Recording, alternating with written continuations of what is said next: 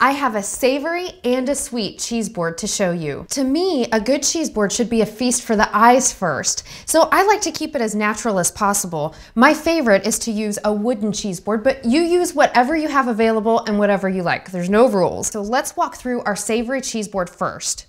I used a Spanish Manchego, which is very robust cheese, and then also an aged white cheddar, and third is a fresh Boursin cheese that's got some garlic and fine herbs, so it's a fresh, spreadable, creamy cheese.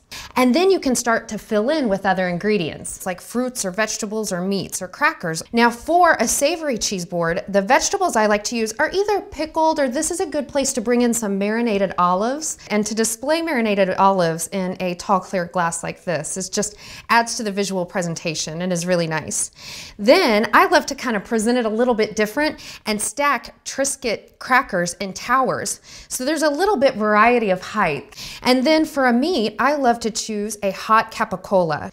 I also love serving this with fresh rosemary because it's such a beautiful herb this time of year. One of my favorite things to put on is fresh red grapes because they're mellow but they're sweet and they will pair well with every bite of cheese on this board. There's so many different little bites that you can put together on your beautiful savory cheese board. I like to think of a sweet cheese board as a story, so let me walk you through it. First, I choose three different cheeses and always remember to serve your cheese at room temperature. The reason is the taste buds on the tongue can pick up the flavor of the cheese the most if it's at room temperature rather than too cold. So the three cheeses I like to choose for a cheese board are Parmigiano Reggiano, and then over here we have a cranberry Stilton, and then a delicious and my favorite tiramisu mascarpone. Now you'll notice these cheeses kind of tell a story because they're from most aged to least aged. So from there, drop in, again, different elements. When it comes to fruits, I like to use a variety.